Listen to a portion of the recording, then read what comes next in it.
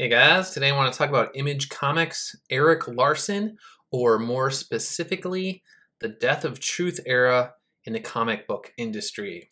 So, for those who aren't aware, diversity in comics was attacked yet again over the last 24 or 48 hours by Michelle Perez of The Pervert over at Image.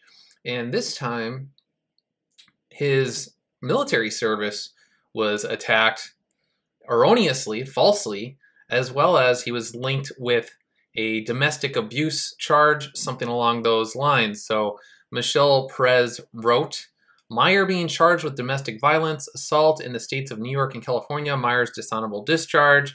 For whatever reason, this shit never got mentioned once with regard to Meyer's behavior towards women and sexism in general, which doesn't really bode well if you're talking about protracted abuse. Now, Michelle Perez went on to eventually backtrack once the legal ramifications started to be known, where you can't just make things up out of thin air about someone. Uh, Diversity in Comics showed that he had an honorable discharge. He put it online for anybody to look at and dispelled any notions about any sort of ridiculous domestic violence sort of stuff. But what happens is these people put it out there. They just throw things against the wall they do not care about the truth. And this will tie in later with some of the other screenshots you'll see. The BuzzFeed hit piece, the hit piece on Jon Malin, obviously Ethan Van Sciver. All these things, Bleeding Cool, Rich Johnston, the way that they twist meanings, that they blatantly lie about things. In the case of Michelle Perez, this is one of the worst things that I I think I've ever seen in terms of the comic book industry. Now, the wishing that diversity in comics would die in an IED blast, IED blast was pretty darn bad, but now they're just making up stuff just completely false. And then you have guys like Erik Larsen over at Image who continues with the IED blast, splitting hairs all the time, bending over backwards, bending into intellectual pretzels to find a way not to clearly and concisely state, hey, this is gross. Even if you don't fire the person, you could say, this is gross. This is not what we stand for. We have a business relationship with this person. We will talk to Michelle Perez and we will make sure that there is a certain level of professional decorum that is not violated here at Image. Unacceptable. But he can't do that. So he tweets, I was, I was tagged in uh, an exchange that he eventually took part in. He says it's all about false equivalencies. It's not about common sense. Image should apologize because somebody that does a book there said something I don't like to somebody in some forum somewhere. Pointless and stupid. Now, as I have pointed out before, and obviously many others, that Umbrella guy, Diversity in Comics himself, and others, uh, this is not what it's about. Uh, again, this is the same person, Michelle Perez, who called all veterans crypto fascists and wanted him blown up, wanted Diversity Comics blown up. Now, I eventually, I usually don't get involved in this sort of stuff, but I wanted to see how he responded to this. And also, the thing with Erik Larsen is the more that he sort of plays word games, semantics, at some point in time, I'm talking over his head. The more unreasonable he is, the more ridiculous he seems to objective observers. They will see this and they will see, wow, this this is bad. I don't want anything any part in this. Someone was like, why are you even interacting with this guy? He's being unreasonable.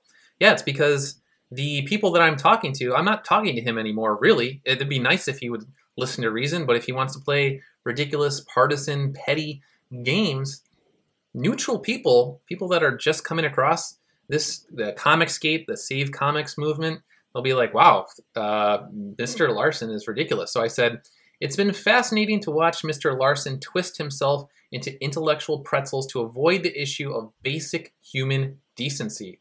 What is your opinion of a writer who falsely and knowingly claims a combat vet like Diversity in Comics was dishonorably discharged? That's what I wanted to know.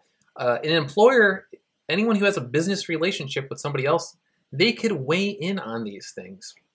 Now, he did later, uh, as I've said, uh, as I've cited in my Marvel Death of Beauty era video, I will once again cite Bishop Robert Barron in his book To Light a Fire on the Earth. I will also be citing Exploring Catholic Theology by Bishop Barron and Jordan Peterson's 12 Rules for Life in this video. So we're going to get a little heady here. As I said before with my more secular viewers, if you don't want to think of things in terms of objective truths, those sorts of things completely, uh, then that's why I'm I'm mixing in the Thundercats here. So when you make truth your number one priority, the thing with truth is is you can see above and around and below all sorts of issues in ways that someone who's a blind ideologue or someone who doesn't value truth, they, they can't see it. So you get essentially, and it sounds kind of cheesy, but you'll get where I'm going, the sword of omens. You'll get sight beyond sight. So that is what we need in the Save Comics, the Comicsgate movement here. We need to always make truth our number one priority because they don't. And when we do, we will be able to see the world more clearly. Now, what happened along the way? We're talking about broader cultural issues here. Bishop Barron, says, classical moral thinkers considered the ethical act in terms of its purpose or finality. What makes an act good is its orientation towards its proper end. Thus, since the end of the speech act is the enunciation of truth, speaking a lie is morally problematic. And since the end of a political act is the enactment of justice, unjust legislating is unethical, etc.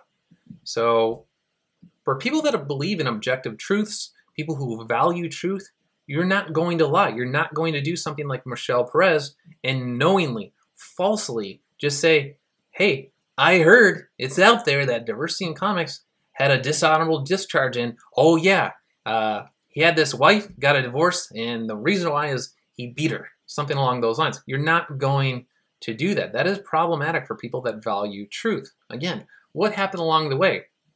This is not, again, not just religious. If you don't like Jordan Peterson, it's not just psychological. You could go back to all sorts of philosophers and you could see what happened along the way. So, Bishop Barron says in Exploring Catholic Theology, page 69, William of Ockham held that freedom is best understood as a kind of indifference of the subject in the presence of competing values. Someone is free in the measure that she hovers above the yes and no and makes a choice on the basis of no compulsion, either interior or exterior. This interpretation of freedom as choice and self expression, theologian Servais Pinckaers calls the freedom of indifference the Ockhamist theory represented, however, a major departure from a classical and biblical understanding of liberty. On this earlier reading, liberty is not so much self-expressive choice as the disciplining of desire so as to make the achievement of the good first possible and finally effortless. The more classical interpretation, Pinckaers called freedom of excellence. So, what does that mean summed up in a way that anybody can understand. So say you're into football. You believe that there are objective truths about the rules of football. They are laid out for everybody. Everybody knows the rules. There is a process for changing them. Again, we're not necessarily, if you don't want to think about this in religious terms, think about it in football or baseball or any sort of game, uh, any sort of business. There are rules. And the, the reason why pick your favorite football player some sort of running back. Mine was Marcus Allen as a kid.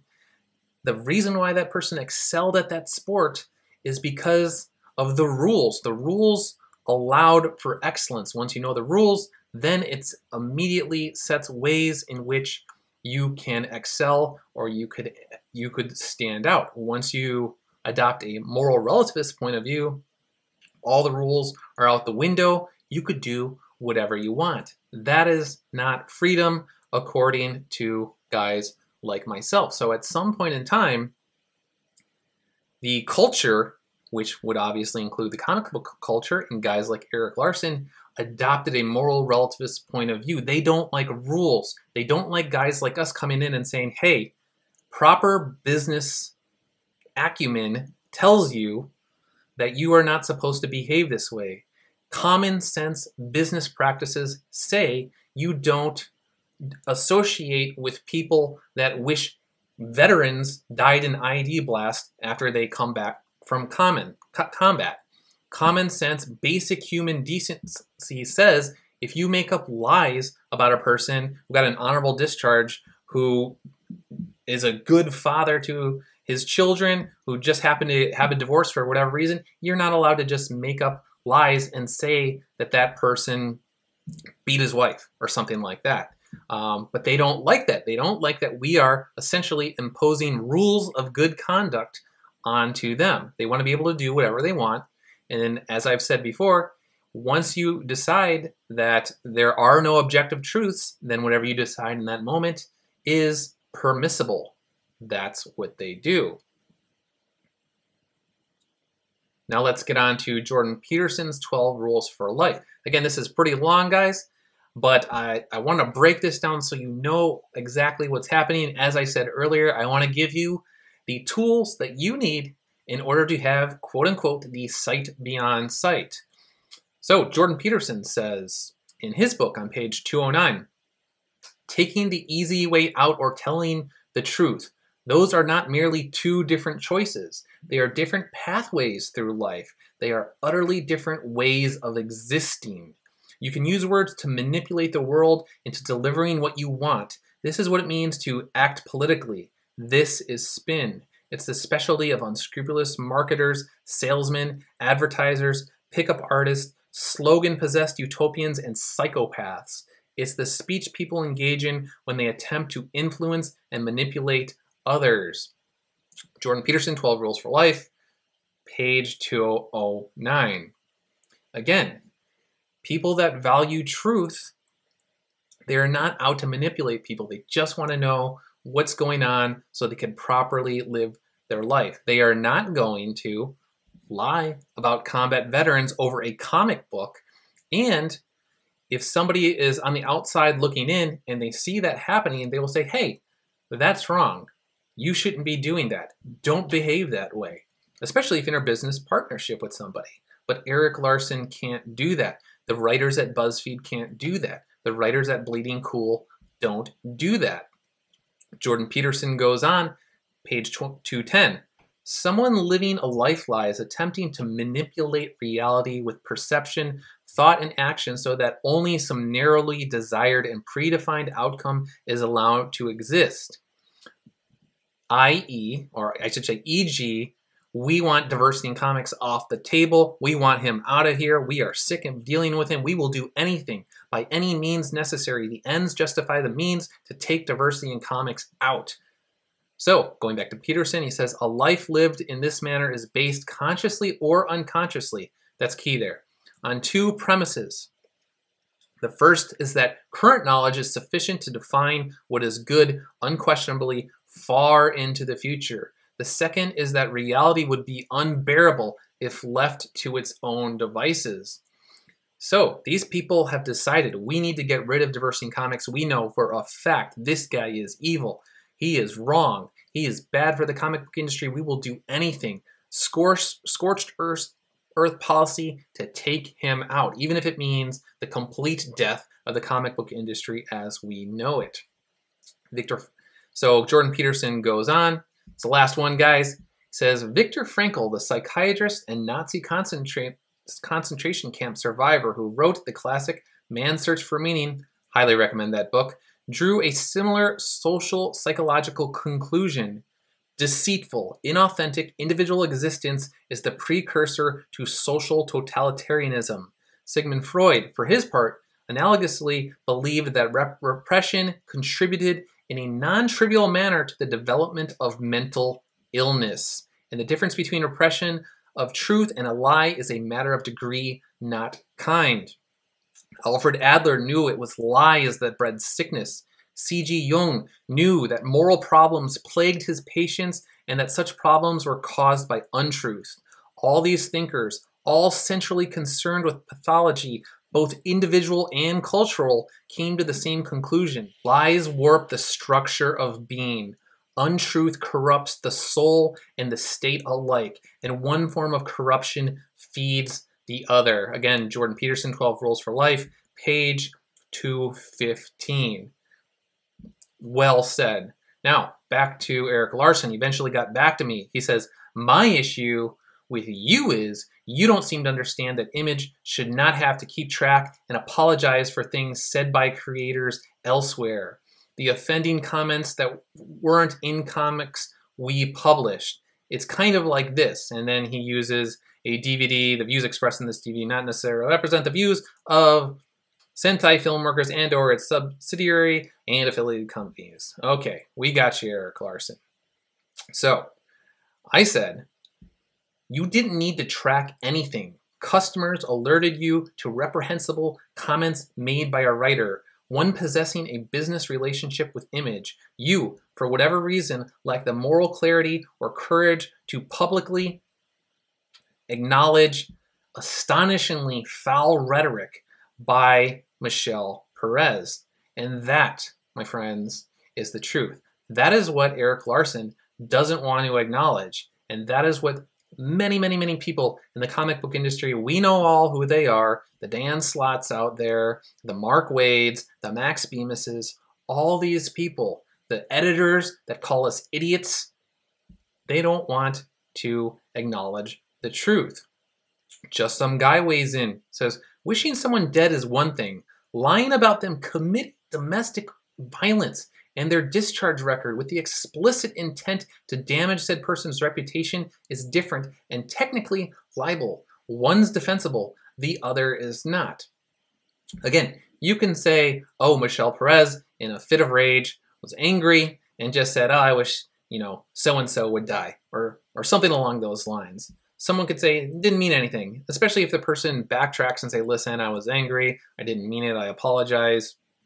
With these guys, when you get an apology, as that umbrella guy has stated in his videos, it's always a non-apology. There's always some sort of snark involved, and they say, well, I'm sorry, but that you misinterpreted what I had to say, or I'm sorry that you essentially are a snowflake. Again, uh, Michelle Perez says, I can believe a person is a piece of scheiße, but I do not want it said that I am slandering the guy and any and all of my thoughts with regard to dishonorable discharges are more out loud musings than anything else. Anyway, F that guy. So again, not really an apology. Uh, lying is really out loud musings. The truth is really uh, fluid, fluid truths, gender fluid truths, something along those lines, or trans truths.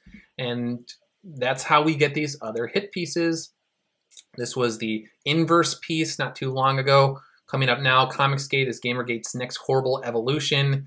We obviously had not too long ago, January, Rich Johnston, the hit piece on Jon Malin, where he essentially linked Jon Malin, who is on record as saying he originally voted for Obama, at least in 2008. He's uh, a moderate, linking him to the alt-right.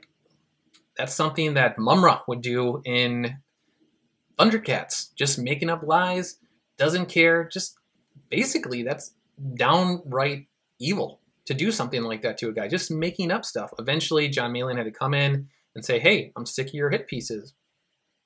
Other objective observers come in they say to Erik Larsen exactly what I was saying earlier. He could deny this all he wants, but there are neutral individuals that are coming in that they're seeing this on Twitter far and wide. This guy says companies with ethics and good business practices disavow partners all the time. Look, here's the deal. You aren't fooling anyone. It's insulting everyone's intelligence that you keep playing dumb. We know, we all know the game, including you. Be an adult man and drop the charade but Erik Larsen can't because he's an ideologue. Erik Larsen can't. When you when you got the in Jordan Peterson's book, he talks about his pen of light. Again, if you don't like Jordan Peterson, liken it to Thundercats. You got the the sword there. They don't like the light. When you shine it on them with words, whatever it is, your rhetoric, when you expose their lies, they hate it and they lash out at you like ghouls. And uh, so this bringing things kind of full circle here. Diversity in Comics says earlier today, says, anyone notice how little infighting there is in Comicsgate? I mean, there is some, of course, but of all the online communities I have seen in 20 plus years online, it's definitely the most peaceful and friendly. I would concur with that. And the thing with the Save Comics, the Comicsgate community, is that pretty much everyone is on the same page with they want better comic books. They want solid storytelling. They don't want ham-fisted politics shoved into them. They want to see creators behave like professionals online. If someone says something you don't like on Twitter, ignore them. There's a mute button. That's all you need to do. You don't need to call people racists. You don't need to call them bigots. You don't need to call them homophobes just because they don't like Iceman being turned randomly gay after decades of having none of that in, in the comic books at all. You could just ignore them. On multiple levels, people just want some sort of modicum of professionalism.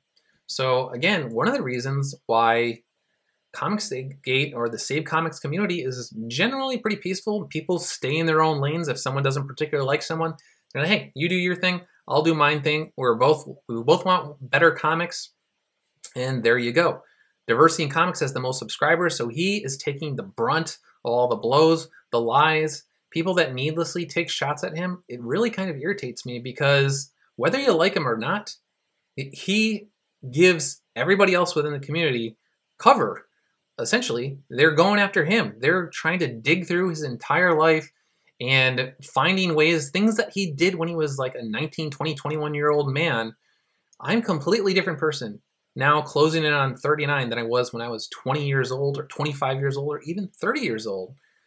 The point again is if you seek the truth all the time if you make truth the focus of your life you will see things that other people can't and will help you whether it's dealing with the comic book industry, whether it's your own personal life, whether it's your business life, you will have, again, sorry if it's cheesy, the sight beyond sight.